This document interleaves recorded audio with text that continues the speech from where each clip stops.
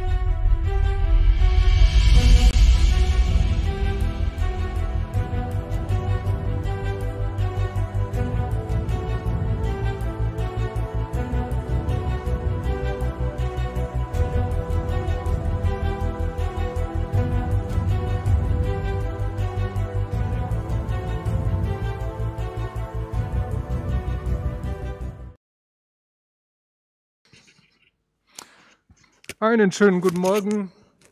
Ich hoffe, Sie hatten schöne Pfingstfeiertage und so, dass wir wieder schön weitermachen können mit unserer Experimentalphysik. Wo waren wir das letzte Mal stehen geblieben, um hier gleich mit der Wiederholung ins Haus zu fallen? Ach, was haben wir gemacht? Ich denke, wir haben äh, das letzte Mal über, über, über die Leistung gesprochen. Ja, also äh, wir haben ausgerechnet, welche Arbeit an so einem, ähm, an so einem ja, Ladungsträger, Elektron meinetwegen, verrichtet wird. Ganz normal ausgerechnet mit Kraft mal Weg.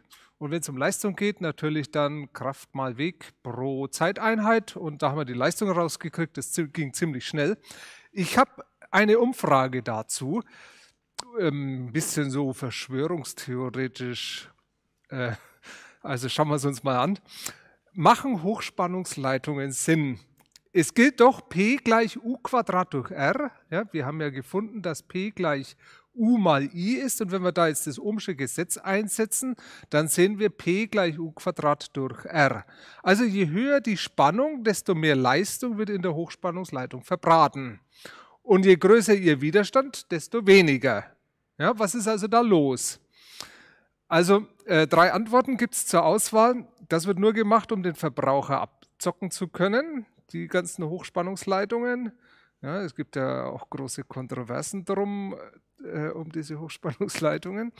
Ähm, dann B, für U müsste etwas anderes als die, wenn es um eine 350 Kilovolt Leitung geht, äh, als äh, die 380 äh, Kilovolt eingesetzt werden.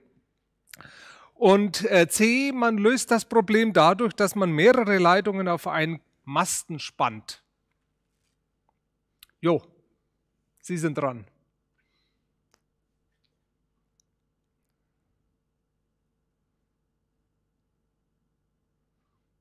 Ja, warten wir noch ein bisschen.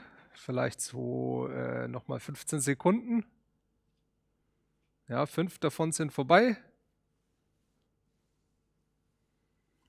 Noch fünf Sekunden. Drei, zwei, eins. Und jetzt schauen wir uns an, was da rausgekommen ist.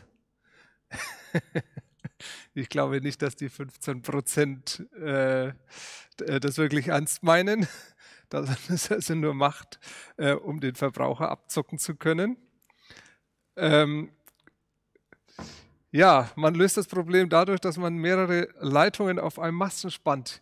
Ja, wenn man das macht, dann kann man zweifelsohne äh, dafür sorgen, dass, äh, dass der Widerstand weniger wird. Ähm, das ist aber eigentlich nicht das Problem, also ist eigentlich nicht die Frage. Äh, die Frage war ja, äh, warum äh, transformiert man die Spannung auf so irrwitzig hohe Spannungen hoch? Und äh, natürlich ist die Antwort, dass man ähm, hier nicht die 380 Kilovolt einsetzen darf. Die 380, also die Spannung, die hier relevant ist, also P gleich U Quadrat durch R, die Spannung, die hier äh, relevant ist, ist die Spannung, die an, ähm, am Verbraucher oder in dem Fall eben an der Hochspannungsleitung abfällt. Das wäre die in der Hochspannungsleitung verbratene Leistung. Aber hinter, dem äh, ähm, hinter der Hochspannung, da kommt ja hoffentlich der Verbraucher und an dem soll die, äh, soll die meiste Spannung abfallen. Ja?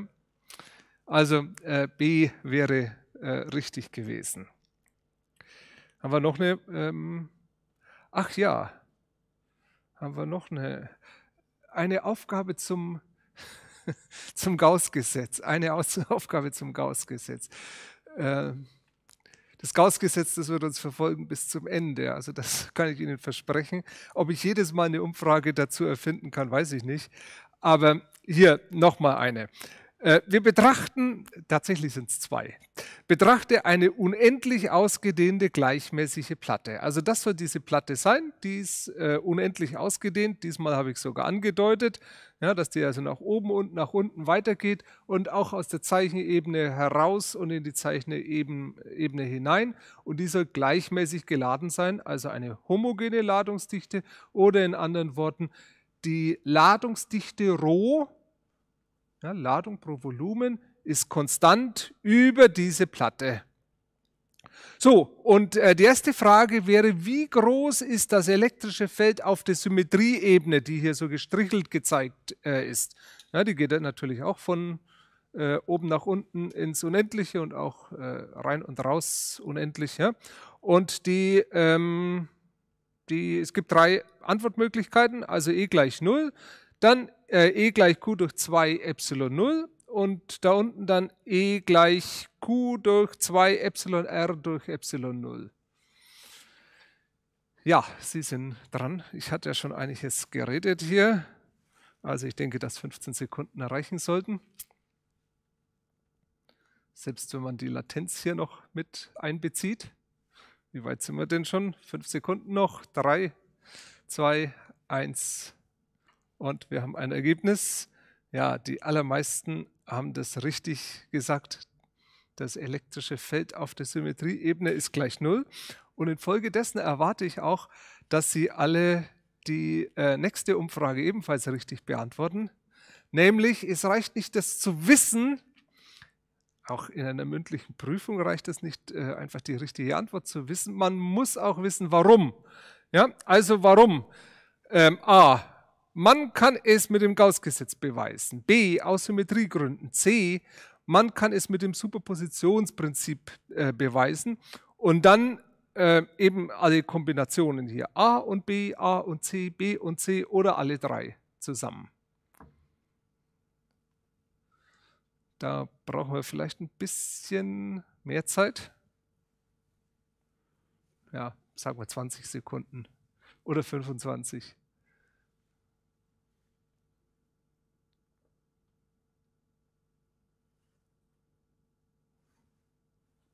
So, wie weit sind wir denn schon? Zehn Sekunden noch. Fünf noch. Drei, zwei, 1 und schauen wir uns an, was da rauskommt. A, B und C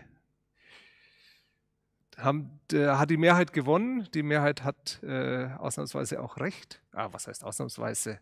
Hier bei Ihnen äh, natürlich meistens recht. Ja, ähm, ja man kann es also mit allen dreien ähm, beweisen.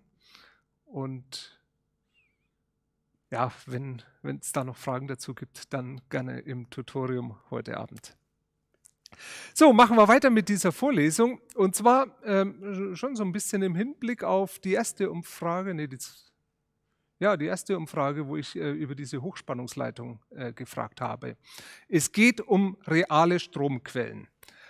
Ähm, und zwar folgendes. Wir haben äh, hier so eine reale Stromquelle. Wir fangen gleich mit dem Experiment an. Das ist einfach hier so ein 9-Volt-Block. Ja, so ein 9-Volt-Block, der kann nicht besonders hohe Ströme liefern, denn so ein 9-Volt-Block, der besteht einfach, naja, oft zumindest einfach aus vielen Knopfzellen, die in Serie geschalten sind. Also wenn man den aus, äh, aufschneiden würde, diesen 9-Volt-Block, dann würde der so aus, äh, aussehen.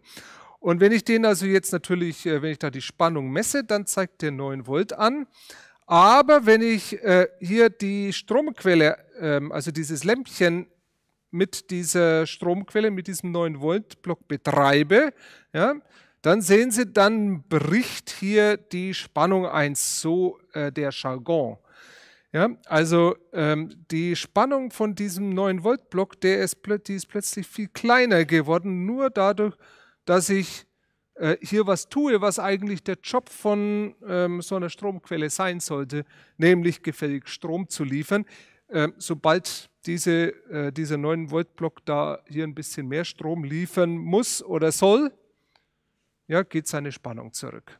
Also äh, schauen wir uns das kurz an. Ähm, im, äh, und ja, ich will es gar nicht ganz vorrechnen. Ich möchte bloß äh, ja, ich möchte bloß äh, dieses Thema hier einführen, denn im Prinzip ist es klar, was, äh, was hier passiert. Und äh, ich habe dieses Kapitel auch deswegen, um diesen Begriff der elektromotiven Kraft einzuführen. Ja, das ist bloß ein Begriff, aber es äh, bietet sich eben an, dem, äh, den hier ähm, in diesem Kontext einzuführen. Also erstens, erstens Definition.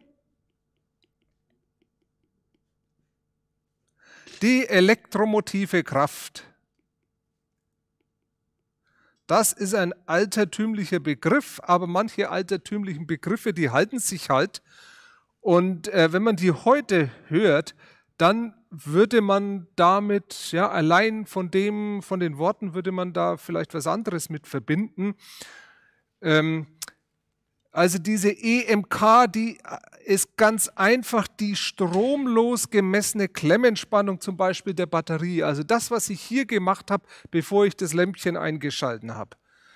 Ja, also das ist die stromlos gemessene Klemmenspannung einer Stromquelle oder Spannungsquelle zum Beispiel einer Batterie.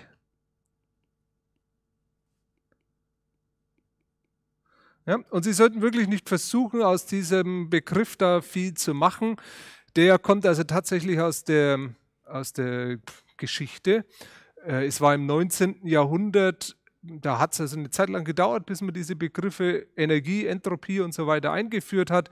Ähm, lange Zeit hat man Kraft verwendet für das, was man äh, heute Energie nennen würde.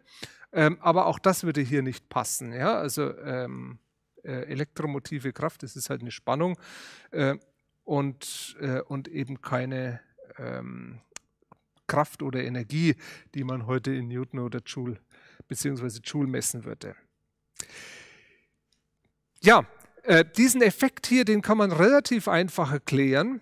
Ähm, ja, was heißt relativ einfach erklären? Den kann man sehr einfach erklären, ähm, indem man ein Ersatzschaltbild, das ist also ein weiterer Begriff, der heute sozusagen eingeführt wird, ein Ersatzschaltbild für diese reale Stromquelle, also in dem Fall eine reale Batterie, keine idealisierte Batterie einführt. Und äh, zwar ist eine, ist eine reale Stromquelle eben ähm, als Serienschaltung einer idealen Stromquelle, das wäre dieses Symbol, und einem Widerstand. Ähm, ja, also so kann man also eine reale Stromquelle modellieren. Das schreiben wir uns kurz auf.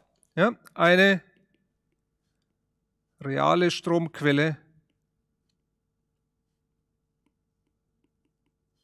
kann als Serienschaltung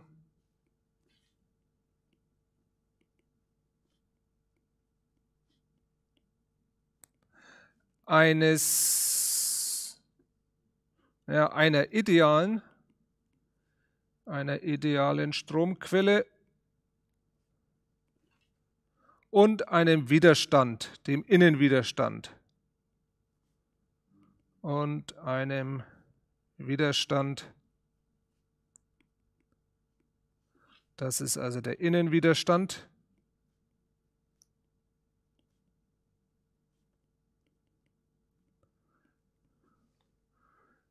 Äh, modelliert werden. So endet der Satz. Ja, und äh, nun ist die Sache ganz klar. Nun können wir also verstehen, was hier in diesem Experiment passiert ist. Wenn der Strom hier höher wird, wenn der Strom hier höher wird, dann fällt an diesem Widerstand immer mehr Spannung ab. Also wenn ich diesen Widerstand hier kleiner mache, dann wird der Strom hier höher. Dadurch fällt hier ein höhere, ähm, eine höhere Spannung ab und für diesen äh, Widerstand bleibt eben dann nur noch ein kleinerer Rest. Das ist also genau das, was wir hier gesehen haben. Ja, also wir haben die Spannung hier ähm, an diesem Widerstand gemessen. Ja, also genauer, wir haben also hier gemessen, aber das ist ja das gleiche, als den hier zu messen. Ja, ähm, dazu ebenfalls eine Umfrage. Da sollen Sie mal, ähm, oh, ähm, das war falsch rum. Ach, die können wir auch machen. Ja, also machen wir zuerst die und schauen uns dann äh, die Umfrage zum Innenwiderstand an. Die Kirchhoffsche Knotenregel, Sie erinnern sich an die Kirchhoffsche Knotenregel von der letzten Vorlesung. Die Kirchhoffsche Knotenregel folgt aus der Existenz eines Potentials, ist die eine Antwort, aus der Energieerhaltung, aus der Ladungserhaltung. Ich denke, das ist eine leichte Frage. Ja, also zehn Sekunden noch. Fünf noch. Drei, zwei, eins. Schauen wir an, was da rausgekommen ist. Aus der Ladungserhaltung. Ja, also das schaut ganz gut aus. Ja, aus der Ladungserhaltung, das ist richtig. Aus der Existenz eines Potentials, das war die Maschenregel. Hier hatten wir ja die Geschichte, dass naja, mehrere Drähte hier zusammengelötet sind, so wie es auf der Skizze zu sehen war, und dass der Strom, also die Ladung pro Zeit, die in diesen Knotenpunkt reinfließt, die muss da auch wieder rausfließen und umgekehrt. Ja, das ist also ganz ja, äh, kompliziert und umschrieben, was eben Ladungserhaltung in einem Wort sagt. Also aus der Ladungserhaltung ähm, ergibt sich das. Ja, manche werden jetzt vielleicht sagen, was stellt der uns für, äh, für, für Kindergartenfragen? Ähm, aber täuschen Sie sich nicht. Also diese Frage, die habe ich mehrfach in Prüfungen gestellt und ja, wenn ich da auf Erhaltung dann hinaus wollte, dann kam oft genug Energieerhaltung. Ich habe mich immer sehr gewundert über, über, über solche Antworten. Ja, und äh, wie gesagt, aus Prüfungen, ähm, die inspirieren mich zu, äh, zu solchen Umfragen. So, jetzt hier die versprochene Aufgabe zu, äh, zum Innenwiderstand. Wie groß muss der Widerstand R also Groß R, eines Verbrauchers im Vergleich zum Innenwiderstand klein r sein, um die maximale Leistung äh, im Verbraucher zu bekommen. Ja, also die Idee wäre jetzt äh, hier, wie muss ich dieses R wählen, damit hier die maximale Leistung verbraten wird. Ja, äh, drei Möglichkeiten, ja, was andere gibt es nicht als diese drei ähm, klein r gleich groß r, also der Innenwiderstand ist gleich dem Widerstand des äh, Verbrauchers. Dann klein r viel größer als groß r und schließlich äh, klein r viel kleiner als groß r.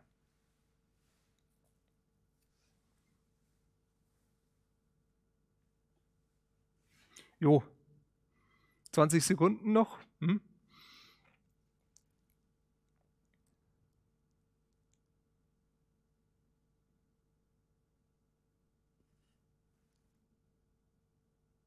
So, fünf noch. Drei, zwei, eins. Schauen wir an, was rausgekommen ist. Ja.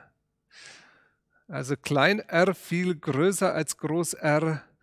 Da denke ich, dass, ähm, ja, dass ich die Betreffenden da einfach vertan haben. Ja? Also wenn der Innenwiderstand sehr groß ist verglichen mit dem Verbraucher, dann fällt ja am Innenwiderstand die gesamte Spannung an, äh, ab oder fast die gesamte Spannung. Ja? Also da kriege ich dann sicher nicht die maximale Leistung in den, in den Verbraucher. Und die richtige Antwort ist tatsächlich die erste. R, klein r gleich groß r. Ja, also, ähm, und das ist eine schöne Übungsaufgabe, das auszurechnen. Man bezeichnet das auch als Impedanzanpassung. Ja, für Widerstände, insbesondere wenn es dann später um Wechselstromwiderstände geht, verwendet man also auch den Begriff der Impedanz. Das ist nichts anderes als ein Wort, soweit ich weiß, ähm, das ein bisschen gelehrter klingt. Ähm, ja, und wenn die beiden den gleichen äh, ja, wenn die beiden gleich groß sind, dann kriegt man also da die maximale Leistung in den Verbraucher. Wie gesagt, äh, ich will es nicht vorrechnen, das wäre eine Übungsaufgabe.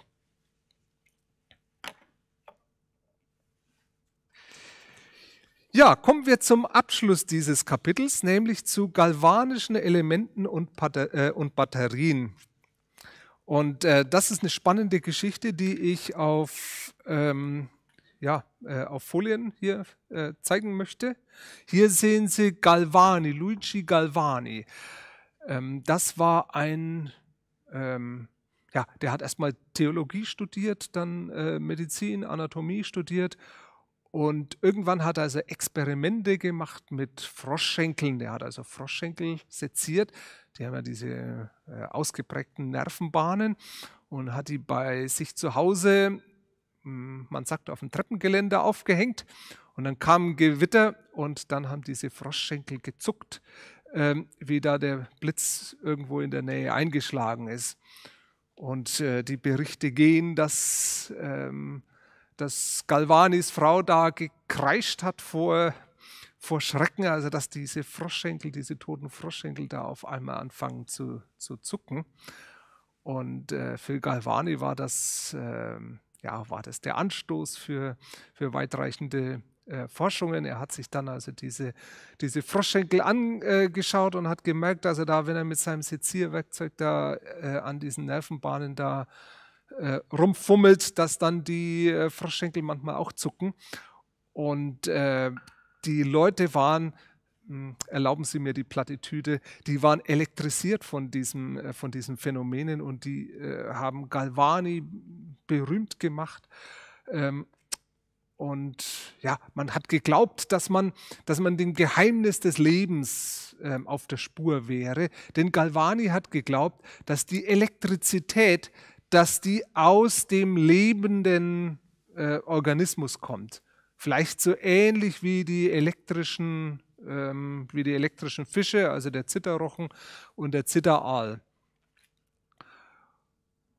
Das hat gut in die Zeit gepasst äh, damals. Ähm, es gab also die naturromantische ja, Bewegung, also äh, viele, äh, insbesondere auch in Deutschland, ähm, haben ja, haben die haben so ein naturromantisches Verständnis der Physik gehabt. Goethe ist, äh, ist da ein Beispiel, ein anderes Beispiel werde ich äh, noch nennen.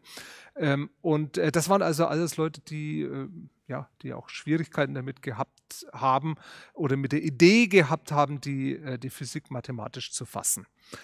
Ähm, und das hat dann ja, also hier haben wir das äh, Daniel-Element, äh, sind dann später also äh, natürlich äh, entsprechend weiter entwickelt worden. Also ähm, da ist eine, ähm, äh, die, die galvanischen Elemente, die haben also wirklich der, der Elektrizität zum Durchbruch verholfen. Denn man hat kurze Zeit später, nachdem man also das so einigermaßen verstanden hat, auch die ganzen Missverständnisse äh, der sogenannten Galvanisten aus dem Weg geräumt hat, es war insbesondere Alessandro Volta, auf den wir noch äh, kurz zu sprechen kommen werden, der herausgefunden hat, dass Galvani vollständig falsch lag mit seiner Vorstellung, dass, ähm, ja, dass das tierische Elektrizität sei. Äh, Volta hat nachgewiesen, dass man äh, diesen galvanischen Effekt genauso gut mit, äh, mit vollständig anorganischer äh, Materie zeigen kann, dass man also Batterien aus anorganischem Material bauen kann. Zeigen wir zunächst ein Experiment dazu. Ähm, Frau Richter hat das äh, sehr schön und ästhetisch hier aufgebaut. Ja, wir sehen also hier, ähm, wir sehen also hier ähm, zwei galvanische Elemente hier. Ähm, hier haben wir also eine Kupferelektrode und hier eine Zinkelektrode und äh, damit die Spannung ein bisschen höher wird, äh, haben wir das in Reihe geschalten mit einem äh, identischen zweiten, ähm, ähm, ja, zweiten Element. Und wenn man also da jetzt äh, die Spannung misst, ja, dann kommen da, dann kommen da, ja, ein halbes Volt bringt die, äh, bringt diese einfache Batterie, ähm, wenn die ähm, ja, wenn der Innenwiderstand dieser Batterie niedriger wäre, dann würde das hier auch mehr anzeigen. Ähm, über Daniel äh, haben wir schon geredet. Hier ist das Ganze also ähm, praktisch gleich äh, nochmal aufgebaut. Ebenfalls ähm, Kupfer und Zink, aber hier eben äh, mit einem besseren Elektrolyten. Und äh, was da dann rauskommt, äh, sind ungefähr 1,1 Volt. Ja, das ist also äh, hier ein Daniel-Element. Und diese Daniel-Elemente, die waren, ähm, die waren äh, sehr wichtig, was die ersten Anwendungen der Elektrizität betraf, nämlich die Telegrafie. Ähm, also was sind galvanische Elemente? Galvanische Elemente, das ist das, was wir hier ähm, gesehen haben. Ähm, galvanische Elemente, wir haben also zwei verschiedene Metalle, das ist das Entscheidende daran. Wie sie funktionieren, werde ich gleich noch, ähm, werde ich gleich noch ähm, versuchen zu erklären. Ja, also nochmal zu dem Daniel. Ähm, ja, Daniel, äh, der hat dann also angefangen, sehr leistungsfähige Batterien zu bauen, auch indem man äh, mehrere hintereinander ähm, geschalten hat, äh, in Serie geschalten hat, sodass die Spannung höher wird. Er hat sie so gebaut, dass sie sehr, sehr hohen Strom liefern können und äh, er konnte dann äh, mit seinen Daniel-Elementen so hohe Ströme produzieren, dass man damit Metall äh, schmelzen konnte, ja, also, also riesen äh, ähm, Funken äh, gab, also dass man da erste Schweißphänomene gesehen hat. Und das hat natürlich auch einen äh, Haufen UV-Licht erzeugt. Damit hatte man nicht gerechnet. Und alle Leute, die dann beteiligt waren, hatten danach Sonnenbrand und, und Augenschäden.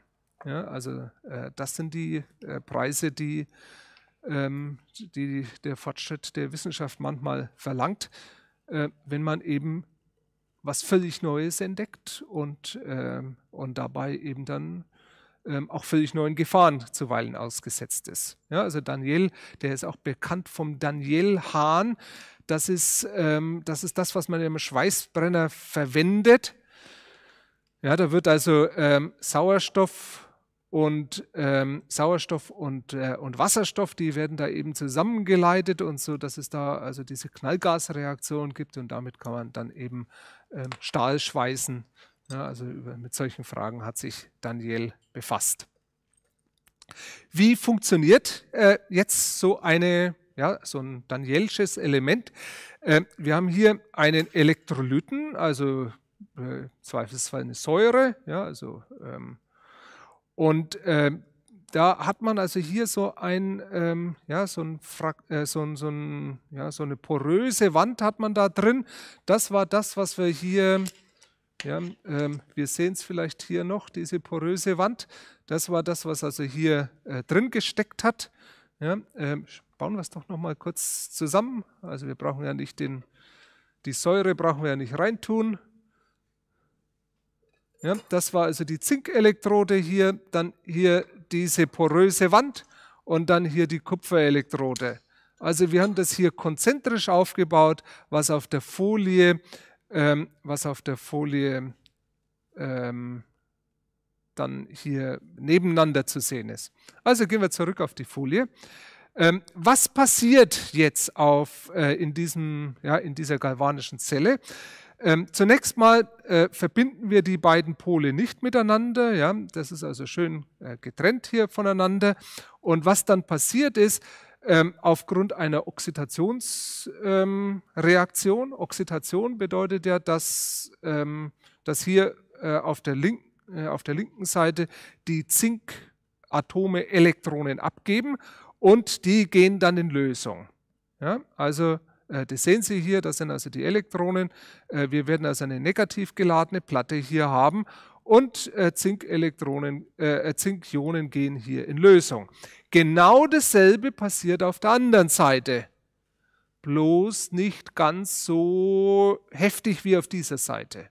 Ja, es passiert also auf dieser Seite äh, beim Zink ähm, sehr viel stärker als auf dieser Seite, einfach deswegen, weil um es umgangssprachlich auszudrücken, weil Kupfer das edlere Metall ist. Eine, es hat eine höhere Elektronenaffinität, behält die Elektronen lieber. Ich hatte gesagt, Oxidation ist Elektronenabgabe, ähm, oxidiert also nicht so leicht äh, das Kupfer. In anderen Worten ist es edler. Ja, also wir werden hier eine stärker negativ geladene Zinkplatte haben als eine äh, Kupferplatte. Und wenn wir jetzt hergehen und äh, die beiden hier miteinander verbinden, dann wird es so sein, dass die, das Elektronen, ja, also der Elektronendruck ist hier zu, äh, sozusagen größer, dass Elektronen hier ähm, in, äh, von, von der Zinkelektrode zur Kupferelektrode fließen. Also von der Zinkelektrode zur Kupferelektrode fließen die Elektronen. Das bedeutet also, dass der Strom, die, der technische Strom, also die positiven Ladungsträger, ähm, die fließen also in die andere Richtung. In anderen Worten, die Kupferelektrode ist der Pluspol.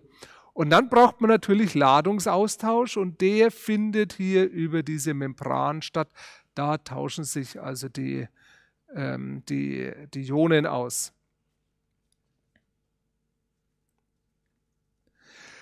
Okay, so funktioniert also ein galvanisches Element und ähm, ja, ähm, können wir uns kurz aufschreiben oder ich komme gleich noch zu den, ähm, zu den Fehlentwicklungen, die sich äh, damals äh, ergaben.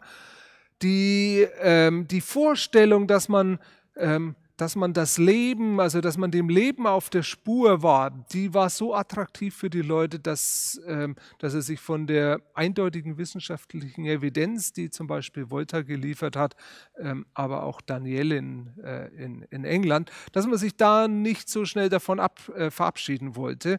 Und eine besonders problematische Rolle hat ein Neffe äh, Galvanis gespielt, äh, Giovanni Aldini. Der hatte die Vorstellung, ähm, ja, je höher entwickelt das Lebewesen ist, desto, ähm, desto stärker müsste doch diese, diese elektrische Kraft sein. Und äh, das hat ihm schließlich zu dem Gedanken geführt, er war nicht der Einzige, der solche Versuche gemacht hat, ähm, diese Versuche an, ja, an Hingerichteten ähm, äh, durchzuführen. Und äh, das ist in der Literatur dokumentiert. Also hier sehen Sie ein berüchtigtes äh, englisches Gefängnis. Und ähm, da wurde ähm, George äh, Foster, ein, äh, ein Mörder, äh, hingerichtet. Und ähm, Aldini hat am frisch hingerichteten ähm, dann Experimente durchgeführt. Das hat natürlich dazu geführt, ja, dass äh, die Leiche äh, Zuckungen gezeigt hat und so weiter und so fort. Äh, wissenschaftlich völlig wertlos, ähm, aber ähm, die, ähm, die Leute haben das eben damals geglaubt. Ähm, ja, so eine Hinrichtung, ähm, das ist ja eine üble äh, Geschichte, äh, nicht bloß äh, für den Verurteilten, sondern sicher auch für diejenigen, die es durchführen und bezeugen müssen. Und der Chirurg, der für diese Tätigkeit eingeteilt war und also auch noch diese Versuche da mitbekommen hat, der ist nach Hause gegangen und an einem Herzinfarkt gestorben. In Preußen ähm, sind diese Versuche dann ähm, schnell verboten worden. Ähm, man hat das also nicht für ähm, ja, also die wissenschaftlichen Fragestellungen, zumindest nicht für so relevant gehalten, als dass sich das gelohnt hätte. Ähm, auf der anderen Seite, ja, also Aldini war zu seiner Zeit durchaus ein hoch angesehener Wissenschaftler. Er ist zum Beispiel in die Bayerische Akademie der Wissenschaften aufgenommen worden, aufgrund seiner hm, Verdienste. Ähm, ja, schreiben wir uns kurz ein paar Geschichten aus äh, auf zu, zu galvanischen Elementen. Ja, also äh, Galvani ist, äh, ist auch heute noch ein, äh, ja, ein, ein, ein mehr als hoch angesehene äh, eine mehr als hoch angesehene Figur in der Geschichte der Wissenschaft. Er hat diese Entdeckung gemacht, er hat sie, er hat sie falsch eingeordnet ähm, und äh, ja, äh, trotzdem ist also sein, sein Name einer der größten in der, in der Geschichte der, äh, der, der Physik interessanterweise. Gut, also 15. Galvanische Elemente.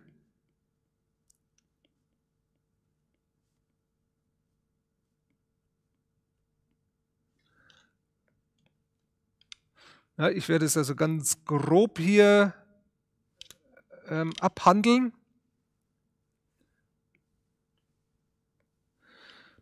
Also erstens ähm, verschiedene Metalle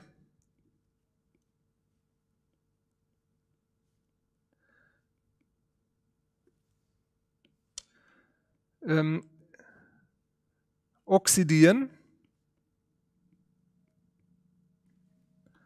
Ähm, das heißt also, ist gleich geben Elektronen ab. Also oxidieren verschieden stark oder ja, verschieden stark, also geben verschieden leicht die Elektronen ab. Und daraus folgt, ähm, wenn zwei verschiedene Metalle verbunden werden,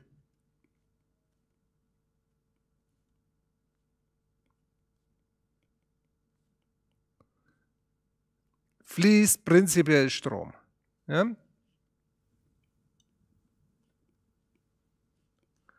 Kann Strom fließen. Kann Strom fließen. Ja, das Einzige, was noch erforderlich ist, ist wieder Ladungsausgleich zu schaffen. Ja, kann Strom fließen, wenn man es schafft,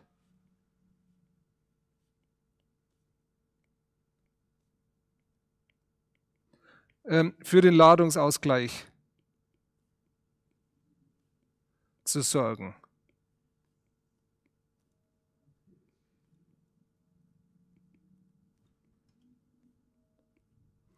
Ja, und das erreicht man mit einem Elektrolyten.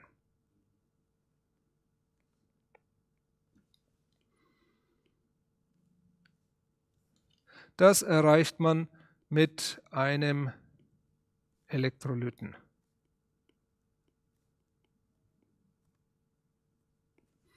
Und äh, das hat man auch sehr früh gemacht, nachdem also Galvani seine bahnbrechende Entdeckung gemacht hat. Ähm, und äh, Alessandro äh, Volta habe ich schon erwähnt. Ähm, hier sehen Sie außerdem ähm, Christoph Heinrich Pfaff. Ähm, das war ein Mediziner, der hat in seiner medizinischen Doktorarbeit hat der das gleiche gemacht wie ähm, Alessandro Volta, sogar ein bisschen vor Volta ähm, aber er war eben keine so bekannte Figur, äh, aber durchaus ein äh, bekannter Wissenschaftler zu seiner Zeit. Ähm, die haben einfach verglichen, ähm, ja, das Oxidations, ähm, ja, also die, äh, das Oxidationsvermögen von, äh, von den verschiedenen äh, Metallen. Die haben also die verschiedenen Metalle äh, verglichen und haben damit eine Spannungsreihe etabliert. Ja, einfach indem man also sowas macht, wie es wir ähm, hier äh, mit der Zitrone gemacht haben und dann eben statt Kupfer und Zink äh, eben Kupfer und Eisen kombiniert oder Eisen und Zink kombiniert dann das Ganze mit Aluminium macht und so weiter und so fort. Ja? Und äh, natürlich auch mit Gold, Silber, äh, Graphit und so weiter, was man da alles nehmen kann, Blei. Ähm, und damit kann man eben dann eine Spannungsreihe aufstellen, welches Metall ist edler als das andere. Ja? Und ähm, kann also hier die, äh, kann das also auch ähm, quantitativ äh, machen, welche Spannungen man an, einem, an einer solchen galvanischen Zelle äh, dann misst.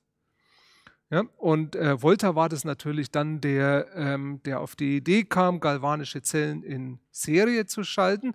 Das ist das, was man heute Batterie nennt. Ähm, Sie wissen ja, äh, der ursprüngliche Begriff war, der Batterie war, dass man leitende Flaschen äh, parallel schaltet. Ähm, und der Begriff, der kam ja aus der Artillerie, also der, der, die ursprüngliche Verwendung, die liegt näher an der ursprünglichen Bedeutung von Batterie. Ähm, aber so ist es halt. Ja? So äh, hat sich der Begriff eingebürgert. Ähm, und Sie, hier sehen Sie, wie Alessandro Volta, der ist äh, hier zu sehen, ähm, Napoleon, ich glaube, das ist äh, die Figur, ist ein bisschen klein hier äh, für mich auf die Entfernung, wie er seine voltaische äh, Säule äh, vorführt. Ähm, Napoleon war ja immer interessiert an den neuesten Entwicklungen in der Wissenschaft und äh, er war sehr beeindruckt von dem, was Volta ihm da vorgeführt hat, also auch schon zu anderen Anlässen. Und äh, hat Volta eine hohe Pension ähm, ja, gestiftet, sodass also Volta einen sehr angenehmen Lebensabend verbringen konnte. Aber auch in, äh, hier in der Gegend ähm, gab es also eine bedeutende Figur, nämlich Johann Wilhelm Ritter, der hat mit Goethe zusammengearbeitet, insbesondere auch zur Farbenlehre. Also Ritter hat das UV-Licht entdeckt. Äh, in Zusammenwirken mit Goethe. Ja, also, äh, aber er hat, äh, hat eben auch ähnliche Versuche wie Pfaff und Volta unternommen, ebenfalls die Spannungsreihe, möglicherweise schon vor Volta, ähm, ähm, erfunden gehabt, äh, eine ganze Reihe von anderen äh, genialen äh, Ideen gehabt. Aber er war eben auch so ein, ja, ein, äh, hat die Physik romantisch äh, gesehen. Ähm, und wenn man also seine Texte liest, also das äh, ist alles ja, ein bisschen schwer verständlich, zumindest vom heutigen ähm, Blickwinkel. Ähm, wortreich, ähm, Mathematik findet man keine. Aber äh, wie gesagt, eine ganze Reihe bedeutender Entdeckungen gemacht, unter anderem die Elektrolyse. Ja, also da sehen Sie hier die, äh, den Aufbau dazu, also offensichtlich der Sauerstoff hier, der Wasserstoff hier. Gut, schreiben wir uns noch ein paar Sachen auf zu, äh, zu galvanischen Elementen. Also wie sie äh, funktionieren, das hatte ich also hier dargestellt. Ähm, aber wir wollen hier noch ein paar Definitionen ähm, einführen und zwar den der Anode und der Kathode. Also Definition. Die Anode, das ist die Elektrode, an der die Oxidation stattfindet. Also in unserem Fall war das äh, die Zinkelektrode. Ne, ich hatte ja zunächst gesagt, an beiden findet Oxidation statt. Aber sobald wir die miteinander verbinden, fließen natürlich die Elektronen von der Anode zur Kathode. Das heißt also, ähm, äh, äh, fließen die, äh, nee, die Elektronen, die fließen natürlich von der, äh, von der Kathode zur, äh, zur Anode. Ähm, also sobald wir äh, die miteinander verbinden, findet die Oxidationsreaktion nur mehr an der unedleren Elektrode statt und an der edleren findet das Gegenteil statt, eben die Reduktion. Also die Elektrode, an der die Oxidation stattfindet.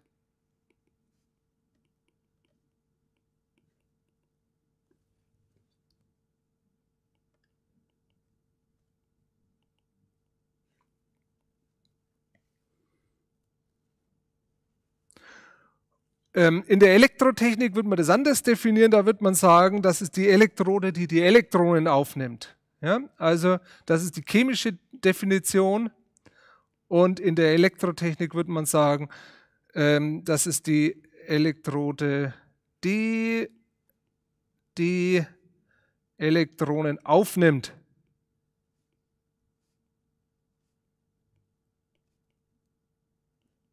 Ja, und die Kathode das ist also sozusagen das Gegenteil. Ähm, da findet die Reduktion statt.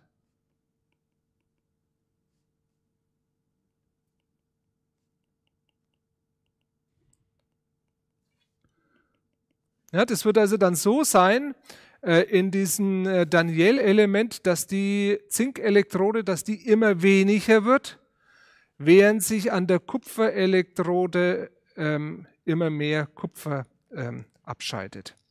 Ähm, aus dem Elektrolyten natürlich. Als letztes noch ähm, die Faraday-Gesetze. Ja, also Faraday, eine äh, wirklich unglaublich bedeutende Figur in der Geschichte der, der Physik im Allgemeinen, aber der Elektrotechnik ähm, oder Elektrizitätslehre im Besonderen. Ähm, ich will die nur ganz kurz hier formulieren.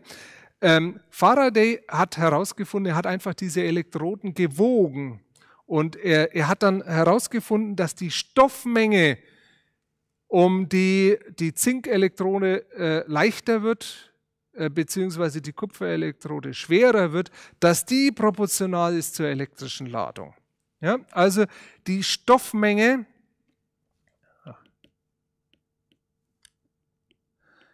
die Stoffmenge, ähm, die die Anode verliert, ja, also die da in die Lösung geht, äh, beziehungsweise die Kathode gewinnt, ist proportional zur Ladung. Zur ausgetauschten Ladung. Ja, zwischen diesen zum geflossenen Strom, also Strom integriert über die Zeit, also zur ausgetauschten Ladung. Und das zweite ist, man hat also über diese Danielschen Elemente oder über diese galvanischen Elemente eine Menge Einblick auch in die Chemie äh, gekriegt. Ähm, jedes Zinkatom in diesem Beispiel gibt zwei Elektronen ab, jedes Kupferatom nimmt zwei auf. Es gibt natürlich andere Metalle, die nur ein Elektron abgeben oder, oder eines aufnehmen. Ich denke, Silber äh, gibt nur ein Elektron ähm, ab. Ähm, das heißt also, die Wertigkeit, die man aus der Chemie kennt, die sogenannte Wertigkeit, die kann man also aus diesen Experimenten bestimmen. Also die Stoffmenge, die ist proportional, ja, Stoffmenge sollte ich nicht schreiben, also die Masse müsste ich jetzt schreiben. Oben hatte ich Stoffmenge, ja, also die Zahl der Mole oder die Zahl der Atome. Ähm, die Masse ist proportional zur Atommasse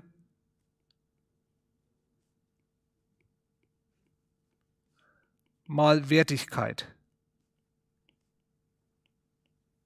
Ja, wobei Wertigkeit ist die Zahl der abgegebenen oder aufgenommenen Elektronen. Zahl der abgegebenen oder aufgenommenen Elektronen. Bei der Oxidation bzw. bei der Reduktion. Jo, das ist genug Chemie, würde ich sagen, oder? Ähm, und ich denke, wir, es ist Zeit zur Pause. Ja, dann sehen wir uns in fünf Minuten wieder. Bis gleich.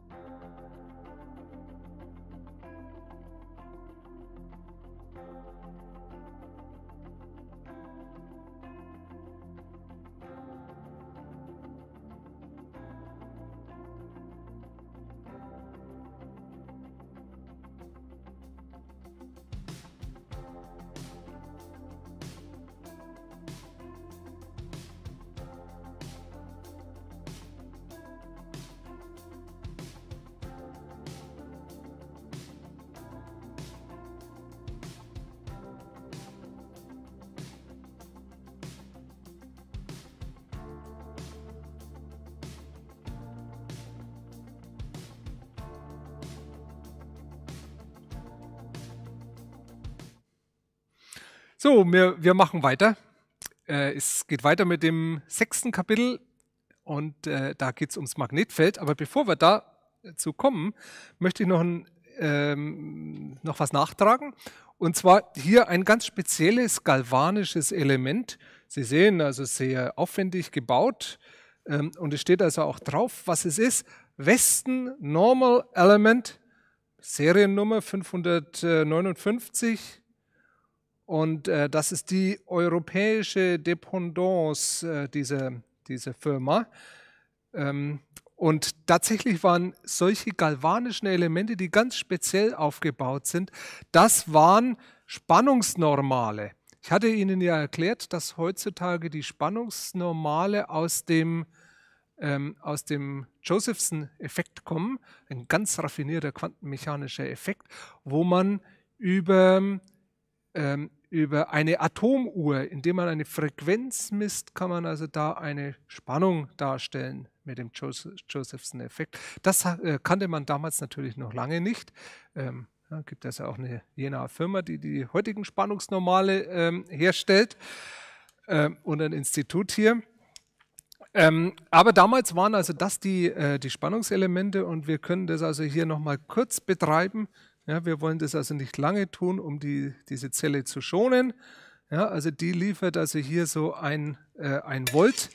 Genau äh, sind es 1,018. Ja, und dann ähm, ist die, äh, ist die äh, Spannung, die dieses oder die elektromotive Kraft, um das mal so auszudrücken, äh, die dieses Element äh, liefert, die hat natürlich auch eine geringe Temperaturabhängigkeit oder eine gewisse Temperaturabhängigkeit dieses Element ist so konstruiert ähm, von Herrn Westen, ähm, ursprünglich ein Brite, der in die USA ausgewandert ist, äh, soweit ich weiß, ähm, der ähm, auch noch viele andere äh, bedeutende Dinge erfunden hat, Spannungsmessgeräte, Strommessgeräte und so weiter und so fort, ähm, und damit eine florierende Firma äh, betrieben hat. Ja, also der hat also diese spe sehr speziell aufgebauten äh, Spannungsnormale, die ab 1908 ähm, die Spannungsnormale waren.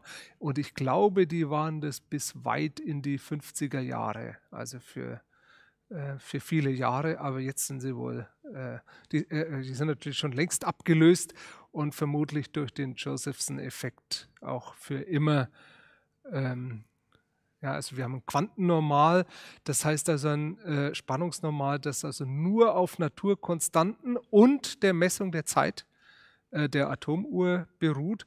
Und äh, wenn man dann die Naturkonstanten, wenn man die festlegt, ihnen einen, einen festen, äh, eine feste physikalische Größe zuordnet, dann hat man also äh, für alle Zeiten ähm, sozusagen die, ähm, auch die Spannung festgelegt eben auf Naturkonstanten zurückgeführt.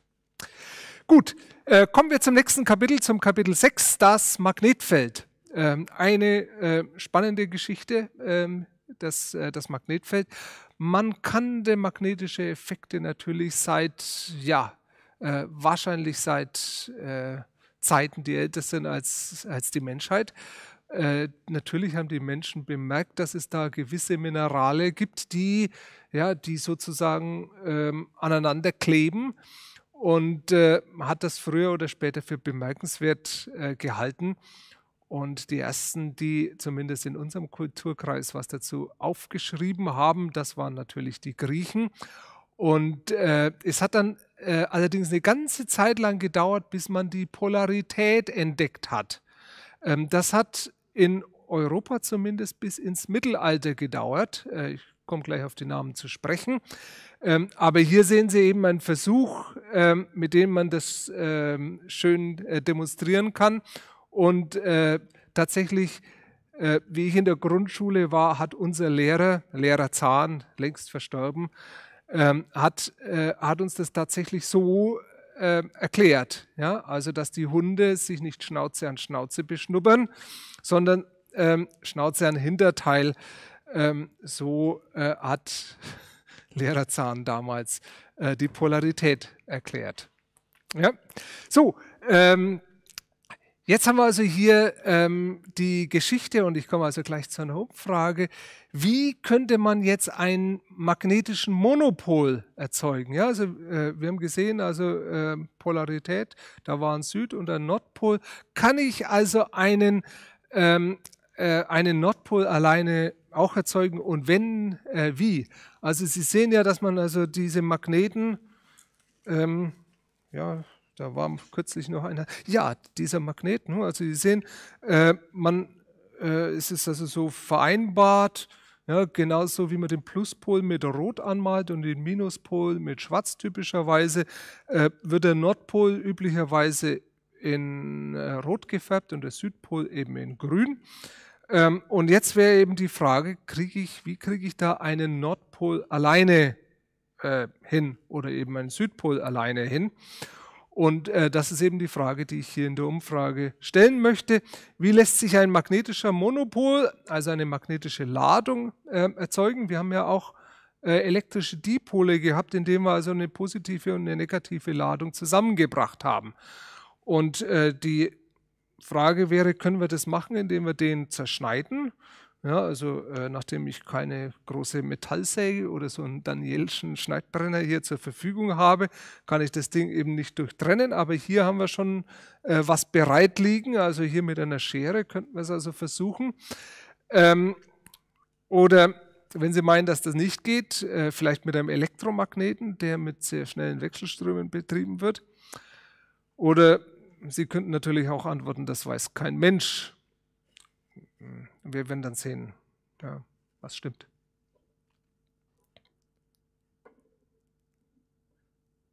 Ja, ich denke, das geht kurz. Ja, ist vielleicht auch nicht so ganz ernst gemeint. Ja, also ich glaube, äh, so, so knapp 80 Prozent, gut 80 Prozent sagen, das weiß kein Mensch.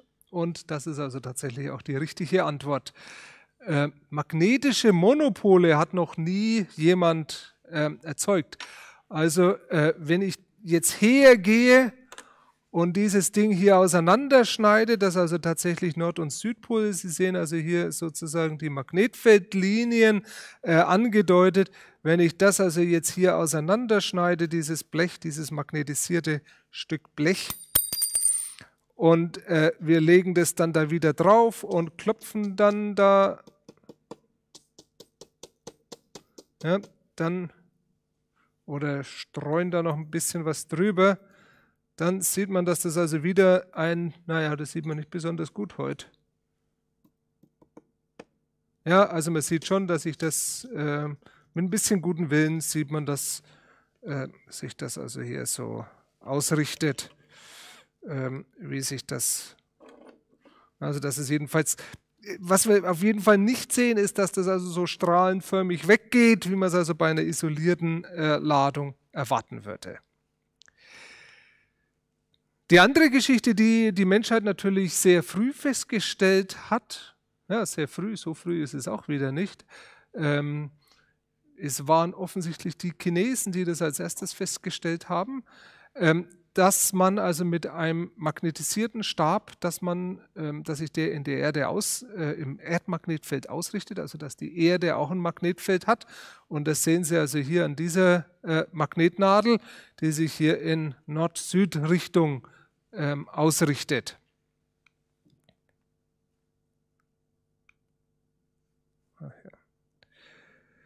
Gut, äh, daran könnte ich also gleich die nächste Frage anschließen. Das ist schon ein bisschen, äh, die ist schon ein bisschen äh, raffinierter.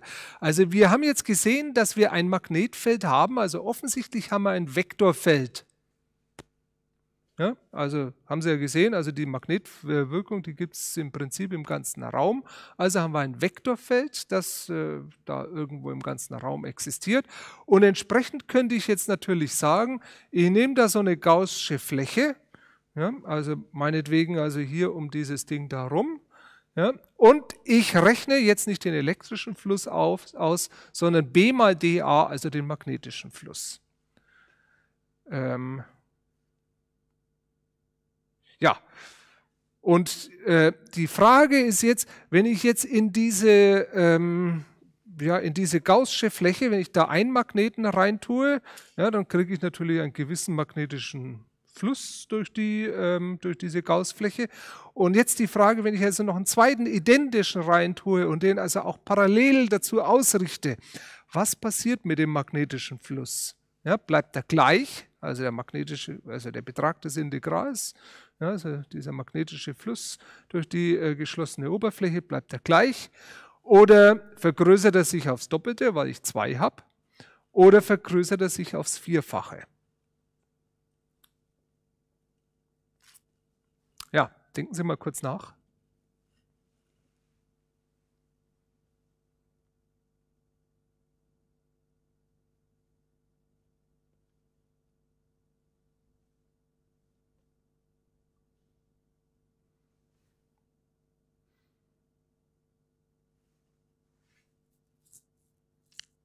So, schauen wir uns mal das Ergebnis an.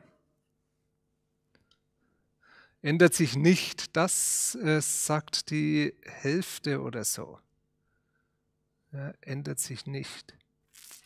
Ähm, Doppelte und das Vierfache, ja, so ungefähr ja, jeweils 20 Prozent. Es sind 60 Prozent, die sagen, es ändert sich nicht.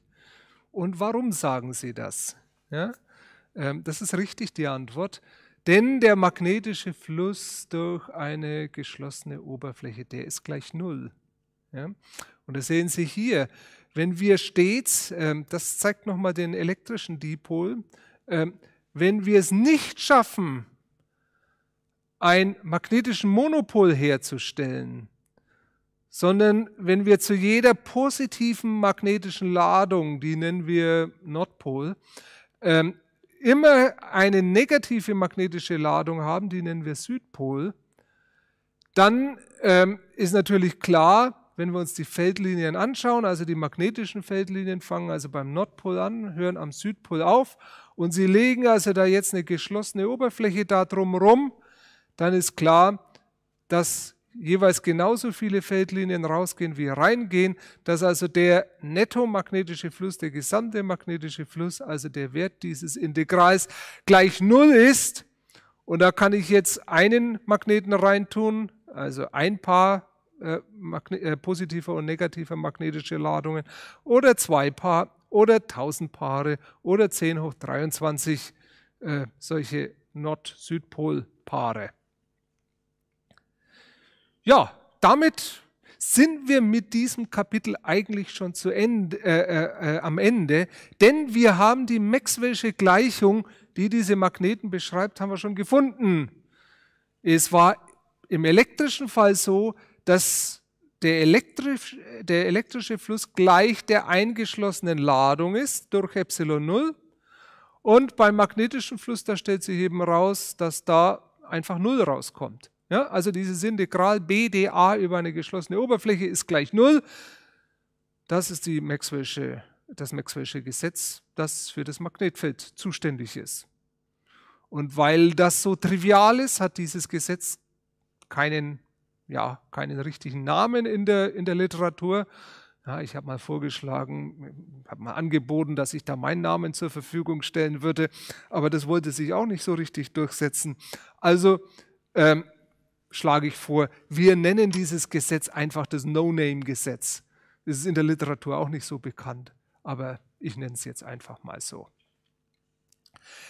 Okay, schreiben wir uns das kurz auf. Ähm, und wir sind dann im Prinzip schon fertig mit dem, ähm, mit dem Kapitel 6. Ein paar Notizen habe ich noch dazu, so eher historischer Art, äh, die allerdings auch ganz interessant sind. Also das Magnetfeld Kapitel 6. Das Magnetfeld.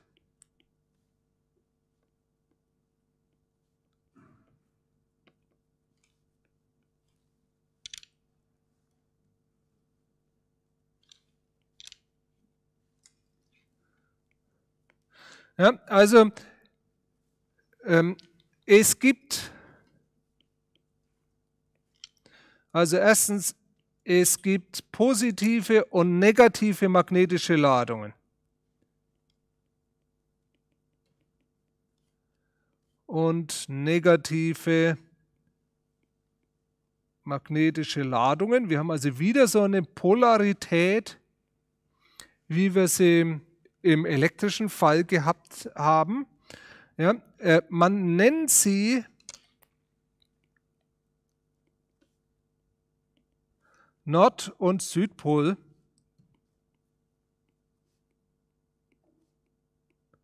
Ja, und nicht positiv oder negativ, also man macht das also nicht so wie im, äh, wie im elektrischen Fall. Und warum nennt man sie Nord- und Südpol? Naja, weil man eben festgestellt dass, hat, dass die Erde auch ein Magnetfeld hat und so hat sich das eben etabliert. Also diese Polarität, das war, das war ein zentraler Begriff in der Wissenschaft im, äh, im ja, äh, sieb, äh, im 18., äh, 19. Jahrhundert äh, insbesondere äh, in der in der, in der Naturphilosophie hat es also eine große Rolle gespielt. Äh, Goethe, Goethes gesamte Farbenlehre, die war auf dem Begriff Polarität aufgebaut. Und äh, es war deswegen auch der Gedanke an die Polarität, die Ritter zur Entdeckung des UV-Lichtes geführt hat. Äh, vorangegangen war nämlich, dass Herschel in England die Infrarotstrahlung entdeckt hat und da hat man den Gegenpol sozusagen gesucht und den hat, äh, hat Ritter gefunden.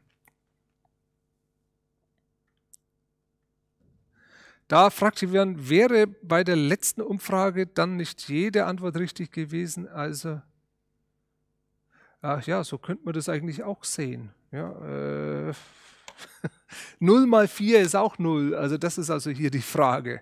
Ja, okay, also äh, ja, äh, vielleicht, ja. Also vielleicht, äh, wahrscheinlich kann man so sehen. Ich müsste mir die Formulierung nochmal genau anschauen. Ähm, äh, jedenfalls äh, ist es klar, äh, dass der magnetische Fluss gleich null ist. Also es gibt positive und negative magnetische Ladungen. Man nennt sie Nord- und Südpol. Ähm, sie treten stets nur paarweise auf. Nur paarweise auf. Magnetische Monopole wurden nicht beobachtet. Magnetische Monopole wurden bislang nicht beobachtet. Ich werde da gleich nochmal drauf zurückkommen. Ähm, ja, die Folge ist, also daraus folgt, dass in einer, ja, in einer geschlossenen Oberfläche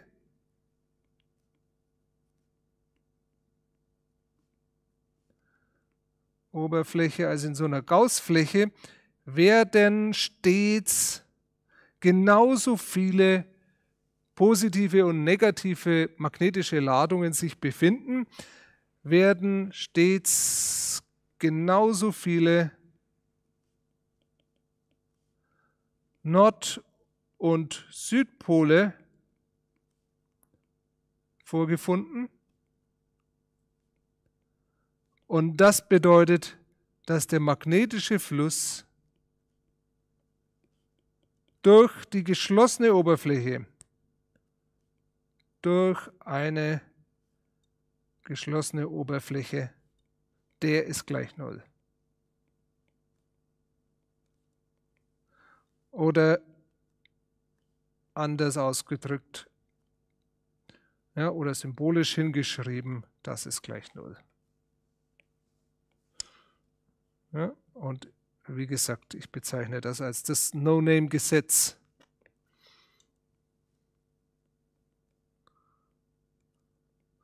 Ein Faradayisches Gesetz. Ja?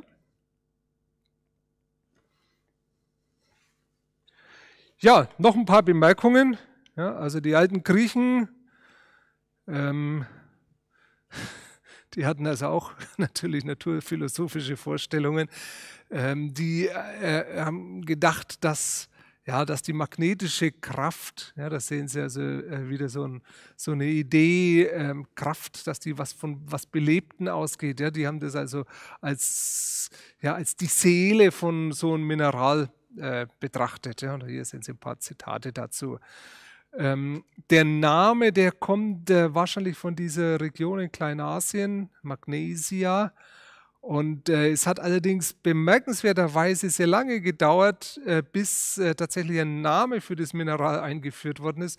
Und es war der Österreicher äh, Wilhelm Ritter von Heidinger, der für dieses äh, ja, Eisenoxid-Mineral den Namen Magnetit ähm, eingeführt hat. Ja, hier sehen Sie also nochmal einen Stein. Der hier ist schön poliert worden, dann schaut er schon hübscher aus. Obwohl, ja, ich finde das Glitzern hier auch hübsch. Ähm, also so, ähm, ähm, so hat man also diese, ähm, so sind also diese Begriffe hier eingeführt worden. Hier sehen Sie einen bedeutenden chinesischen Wissenschaftler in unserem Kulturkreis natürlich äh, so gut wie unbekannt. Aber das war äh, derjenige, der entdeckt hat, dass der magnetische Nordpol und der ähm, äh, und der eigentliche Nordpol, also der astronomische Nordpol, äh, die Erdachse, dass die nicht genau zusammenfallen. Und es waren auch die Chinesen, die zuerst ähm, magnetische Effekte verwendet haben zur Navigation. Ähm, und die haben also da äh, was verwendet, was also, ja, also äh, Südstein hieß das Ganze. Also wenn man das so macht, wie das hier äh, aufgezeichnet ist, ja, so eine Untersetzerschale mit Wasser und dann Brettchen drauf und dann den Magnetstein, einen Magnetstein fixiert, also sowas wie hier, dann richtet sich das Ding nach Süden aus. Äh, ich verstehe nicht genau, warum das so ist, aber ähm, so soll das sein. Ich habe es auch selber noch nicht ausprobiert. Ähm, in Europa äh, war das Ganze, ähm, ja, äh, hat die Wissenschaft äh, über den Magnetismus im Mittelalter begonnen, im ja, angeblich so dunklen Mittelalter. Ähm, äh, immer verbunden mit den Klöstern. Ähm, und es war eben äh, Petrus Peregrinus de Maricourt und ähm, vorher Alexander Neckam, die ähm, die Polarität äh, der Magneten zumindest in Europa zuerst entdeckt haben und die Grundlagen für den Kompass gelegt haben. Also manche spekulieren, dass es also Petrus äh, Peregrinus war, der den Kompass sozusagen erfunden hat. Ähm, andere glauben, dass die Windrose, die ja auch ein ähm, ja, essentieller Bestandteil eines modernen Kompass äh, ist, ja, den die Chinesen also so offensichtlich noch nicht erfunden haben, ähm, dass äh, ja, also dieses sogenannte Trockenkompass, der im Gegensatz also zu der chinesischen Version eben nicht auf Wasser schwimmt, ja, also so typisch, äh, Sie haben also den Magneten, der auf einer Nadel gelagert ist, das geht also auf Maricourt zurück. Und die Kombination mit einer Windrose, da glaubt man, dass das äh, in der äh, italienischen Stadt äh, Amalfi ähm, und äh, von diesem Seefahrer von dem man nicht mal weiß, ob es ihn wirklich gegeben hat. Äh, jedenfalls glaubt man, dass äh, die Erfindung des Kompass mit Windrose äh, auf die Seefahrerstadt Amalfi äh, zurückgeht. Muss eine sehr schöne Stadt sein. Ähm, wenn Corona vorbei ist und sich die Gelegenheit ergibt, äh, ich habe das ja schon lange vor, da mal hinzufahren. Ähm, später war es dann äh, in der Neuzeit, äh, da war es dann Gilbert, ähm, das Gilbertsche Visorium, das hatte ich schon mal hier erwähnt. Äh, Sie sehen also hier Gilbert, wie ähm, Queen Victoria, glaube ich, was ähm, vorführt, äh, magnetische Effekte und der Gilbert, der war es auch, der, ähm, ja, der die, äh, die moderne Physik in dem Sinne äh, mitbegründet hat, als er das Primat des Experiments ähm, ja, äh, etabliert hat.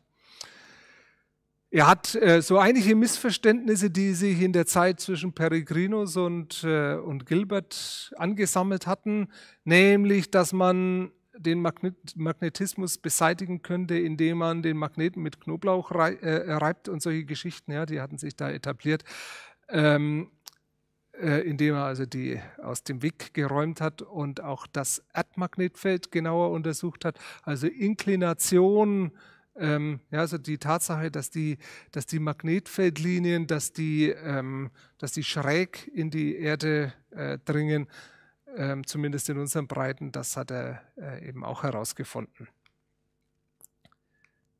Ja, schließlich noch was zu den magnetischen Monopolen. Ich habe gesagt, das ist ein experimentelles Faktum und äh, es ist natürlich nur so lange ein experimentelles Faktum, ähm, bis, äh, bis vielleicht jemand äh, einen äh, magnetischen Monopol entdeckt.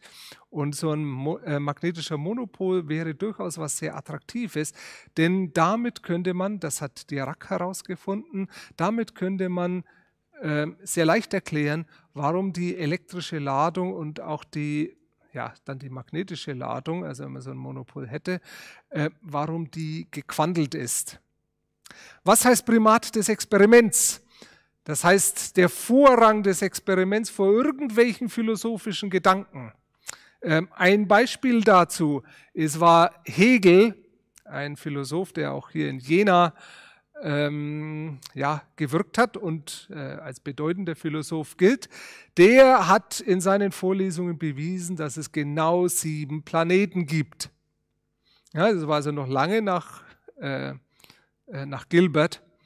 Und irgendwann äh, zu seinen Lebenszeiten hat Herschel Uranus entdeckt. Da waren es also dann nicht mehr sieben. Und da hat ihn ein vorlauter Student, ein frecher Student, hat ihn gefragt, Herr Hegel, was machen Sie denn jetzt? Der hat es sicher freundlicher formuliert äh, und mit, äh, ja, mit, mit aller Demut und so weiter und so fort, wie es sich also damals gehört hat. Ja, und was hat Hegel geantwortet? Umso schlimmer für die Wirklichkeit. Ja, also das Primat des Experiments, das war, ähm, das war lange umstritten. Ja, es gab also auch den Primat des menschlichen Geistes hier.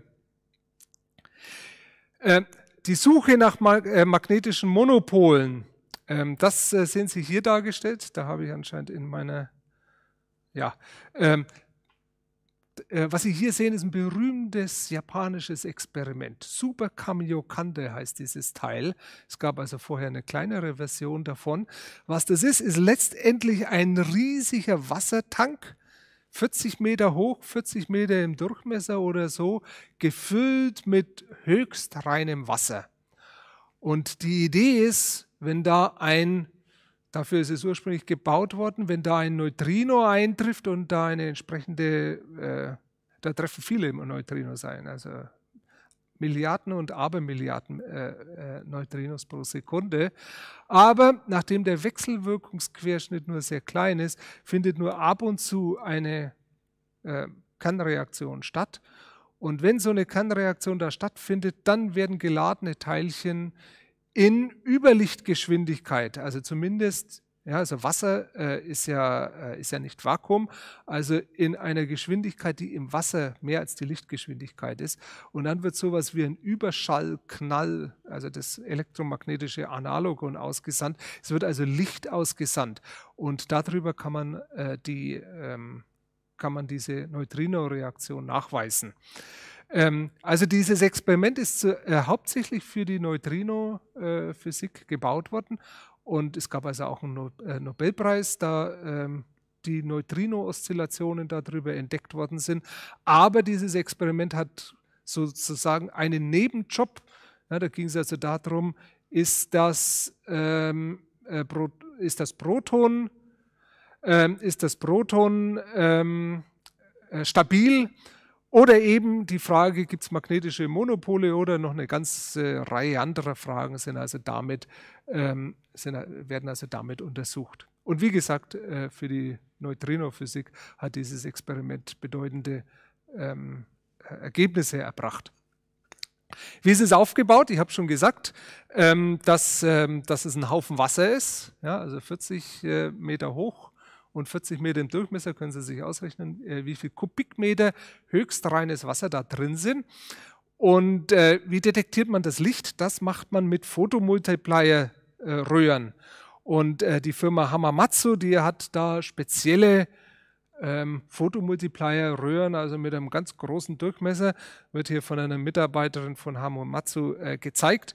Ja, da sehen Sie also, wie groß diese Röhren sind und die kleiden also die gesamte Wand und also auch den Boden von diesem riesen Wassertank auf. Und hier sehen Sie also ein Bild äh, von all diesen Fotomultiplier-Röhren. Schaut also wunderschön aus, finde ich.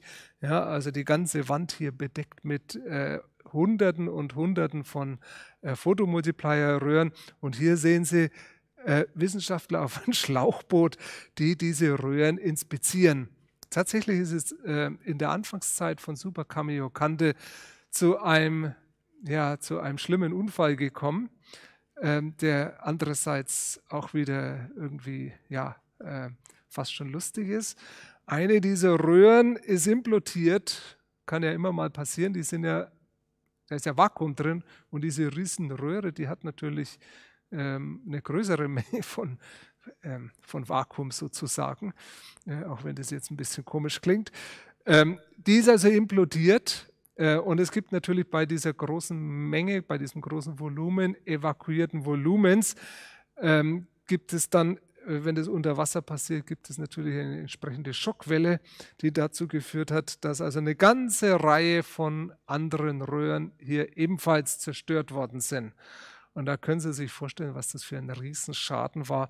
Denn äh, die Firma Hamamatsu stellt diese Röhren eigens für, diesen, äh, für dieses Experiment her. Und äh, es hat dann Jahre gedauert, bis man, ähm, bis äh, Ersatz geliefert war, bis also ähm, der Super Cameo Kante wieder gelaufen ist.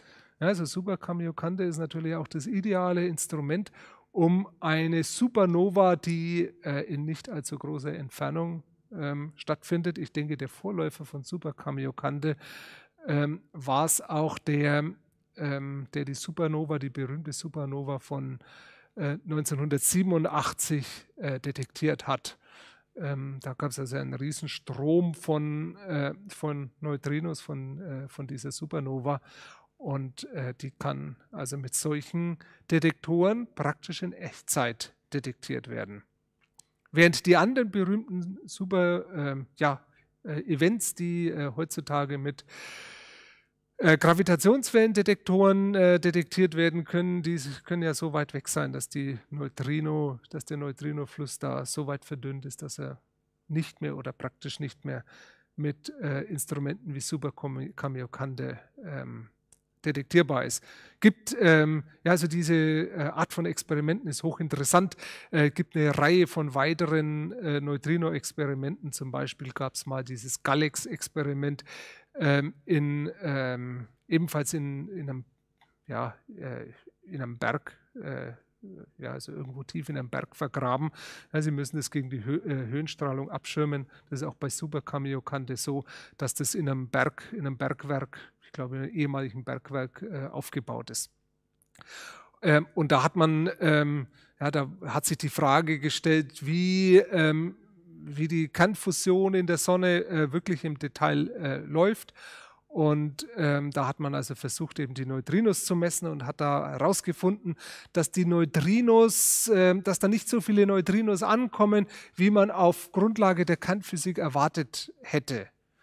Und ähm, dann erst äh, gab es Spekulationen, dass die Neutrinos, während sie von der Sonne zur Erde äh, gehen, dass die da möglicherweise ihre ja, ihre Natur ändern. Es gibt also drei Sorten von Neutrinos, ja, drei Flavors, ähm, dass die also da ihre, ihre Natur ändern und deswegen äh, eben äh, nicht mehr mit diesem damals Galax-Detektor ähm, äh, detektierbar sind. Und das hat sich also tatsächlich als wahr herausgestellt. Äh, und das war also ein Durchbruch in der Neutrinophysik, denn damit war bewiesen, dass die Neutrino eine Masse haben, eine von null verschiedene Masse haben. Okay, aber damit äh, haben wir es wirklich geschafft, dieses Kapitel. Ähm, wir sind fast durch mit der Zeit, ähm, glaube ich. Ja, zehn Minuten haben wir noch. Ähm, da kann ich also mit dem nächsten Kapitel anfangen. Und zwar ähm, ein, ähm, ein Experiment, das wir uns dann im Folgenden genauer ähm, ja, also in den nächsten Vorlesungsstunden dann genauer anschauen müssen. Ähm, was wir hier haben, ähm, ist, ein, ja, ist eine Apparatur, die Sie so noch nicht verstehen können. Aber ich will einfach mal zeigen, äh, experimentelle Evidenz, dass dieses Spulenpaar, man nennt es auch Helmholtz-Spulen nach äh, dem Erfinder, äh, dass dieses Spulenpaar, dass das ein Magnetfeld erzeugt. Wenn wir also einfach mal den Strom einschalten, ja, dann, ähm, ja, zuerst mal mit der Magnetnadel, ähm, wenn wir einfach äh, den Strom einschalten, dann sehen wir, dass sich also diese Magnetnadel hier ähm, sehr schnell hier ausrichtet. Ja, also äh, die hat sich also, ja, ich kann die also nochmal versuchen hier abzulenken da. Ja, also die, äh, es ist ganz klar, wir haben also hier den Nordpol, der in meine Richtung zeigt. Äh, würden wir das Ganze umpolen, ähm, dann, ähm, dann würde die sicher in die andere Richtung äh, zeigen.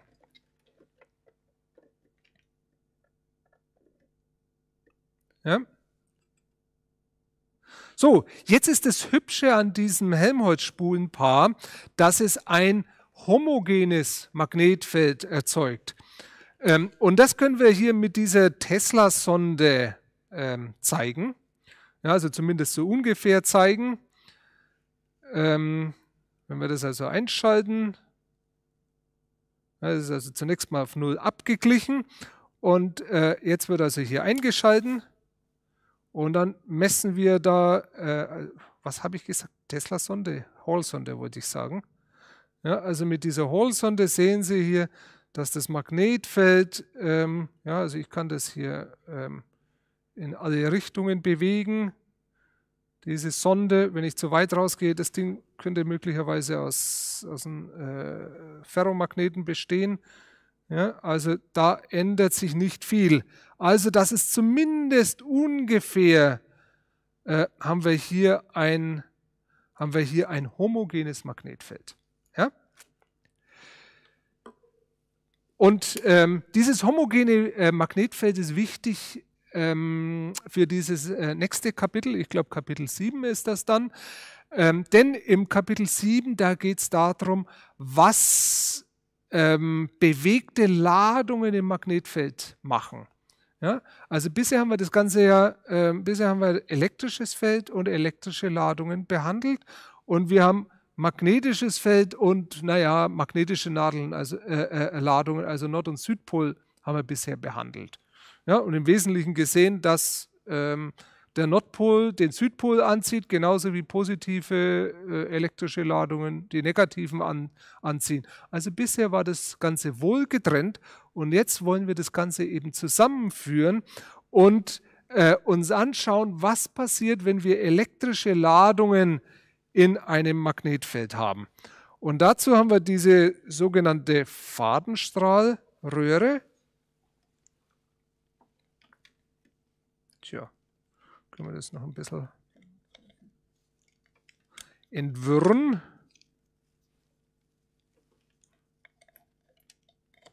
So, ähm, das ist ein ähm, evakuierter Glaszylinder und ähm, da kommt ähm, da kommt aus einer Elektronenkanone ähm, kommt da ein Elektronenstrahl raus. Wir werden jetzt gleich mal abdunkeln. Ähm, und damit wir diesen Elektronenstrahl auch sehen, warum kann man den Elektronenstrahl sehen? Den kann man deswegen sehen, weil der Glaskolben eben doch nicht ganz leer ist, sondern der ist mit, äh, mit Restgas gefüllt. Und ähm, Sie sehen also hier diesen äh, orangenen, ähm, diesen orangenen äh, Strahl. Ja, und ähm, offensichtlich haben wir hier ähm, ist es so, dass der Elektronenstrahl, der hier rauskommt, dass der, ich denke, das sind Natriumatome, die da drin sind, ähm, dass der die ähm, dass der die anregt und die deswegen leuchten, also hier in diesem typischen orangenen Licht.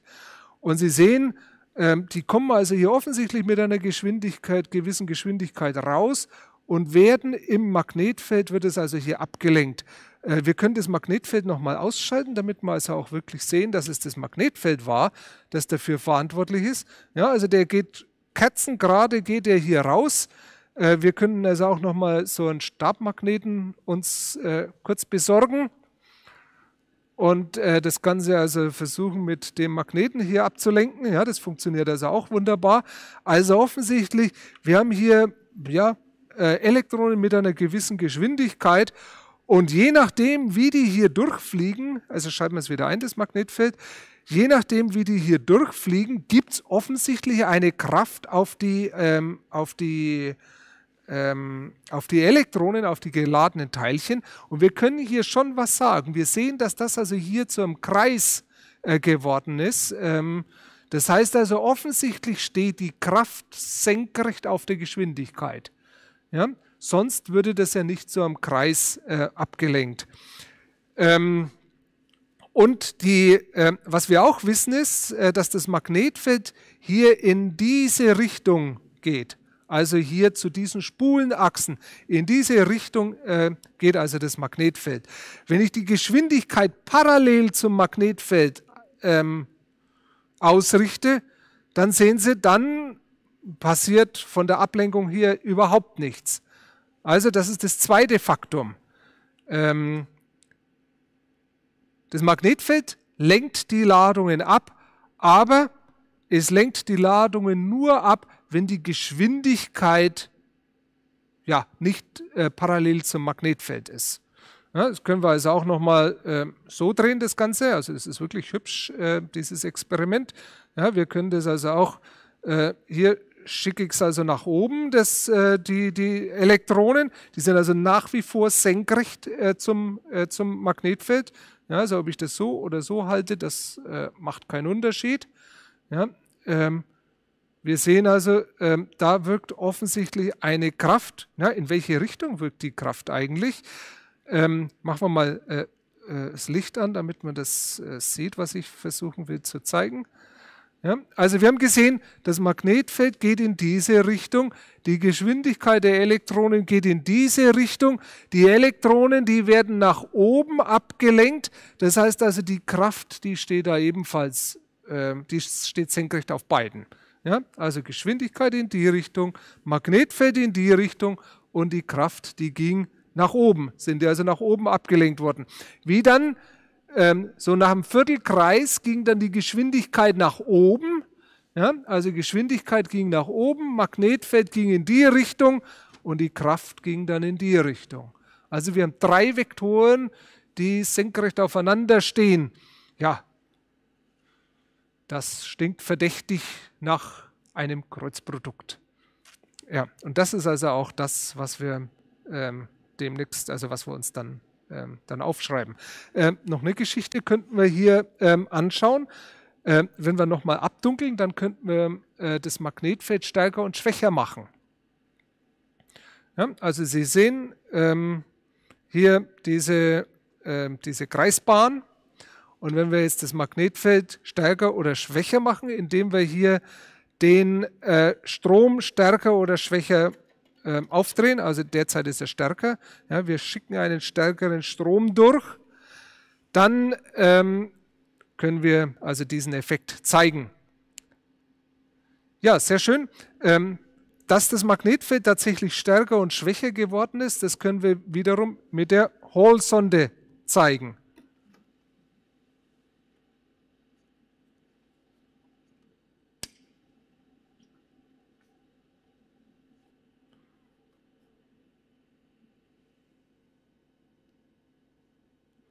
Ja, also wir könnten das also dann auch durchaus quantitativ machen. Wir würden sehen, dass die Kraft proportional ist zum Magnetfeld. Ja? Ähm, was noch bliebe, wäre festzustellen, wie es mit der Geschwindigkeit ausschaut. Ja, dazu müssten wir also die Geschwindigkeit dieser, ähm, äh, der Elektronen ändern, dadurch, dass wir die Beschleunigungsspannung zwischen diesen Elektroden, äh, die da eingebaut sind, dass wir die ändern. Ja, das macht also Frau Richter hier jetzt auch. Ähm, auch das funktioniert und äh, wir würden sehen, dass die Kraft proportional ist zur, ähm, zur Geschwindigkeit. Je höher die Geschwindigkeit, desto größer, ähm, desto größer die Kraft. Ähm, okay, ja. Jo, ähm, das ist doch eine ganze Menge von experimentellen Fakten, die wir hier mit diesem hübschen ähm, Experiment gefunden haben. Äh, ich fürchte nur, dass uns die Zeit fehlt, um das noch aufzuschreiben.